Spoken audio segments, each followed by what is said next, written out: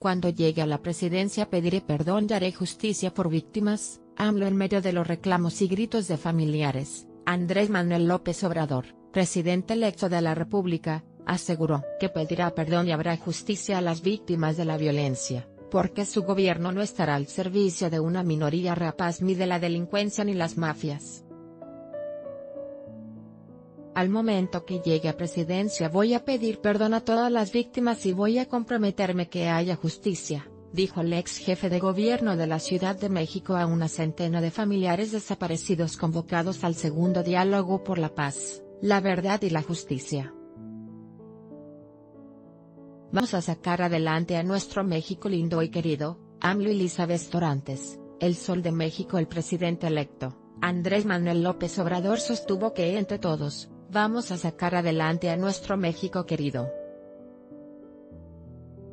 Aseguró que no le va a fallar al pueblo pues va a cumplir sus compromisos, e indicó que la política económica va a cambiar y se va a distribuir la justicia.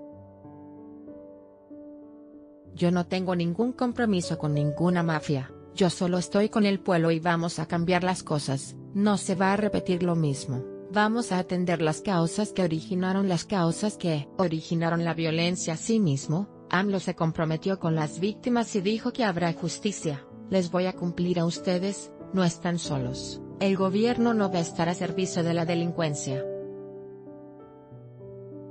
Si fracasa gobierno de AMLO nos hundiremos más en el infierno. Javier Sicilia Javier Sicilia, fundador del Movimiento por la Paz con Justicia afirmó que no quieren un fracaso del gobierno de Andrés Manuel López Obrador, por lo cual se comprometió a trazar un plan de acción para garantizar la seguridad. Si no se sientan las bases para una buena política de Estado en materia de justicia, la cuarta transformación será para la desgracia, y nos hundiremos más en el infierno. Exigen que sus familiares aparezcan con vida. Fotografías Twitter arroba CNDH familiares de desaparecidos. Exigen justicia. A AMLO un foro de la paz. Con la presencia del presidente electo, Andrés Manuel López Obrador, inició el segundo diálogo por la paz, la verdad y la justicia, en el que integrantes del próximo gobierno federal, y agrupaciones víctimas del delito buscarán sentar las bases para construir una política de Estado en materia de justicia transicional.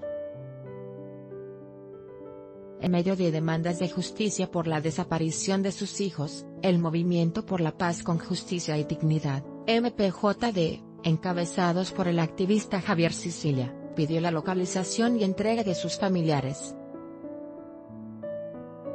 AMLO analiza hacer encuestas para definir el futuro del Naín Jesús Ramírez, vocero del presidente electo Andrés Manuel López Obrador, aseguró que están analizando elaborar encuestas para definir el futuro del nuevo Aeropuerto Internacional de México, Naim. Indicó que planean combinar la consulta popular y las encuestas, sin embargo destacó que por el momento no han tenido contacto con ninguna encuestadora y dijo que están elaborando preguntas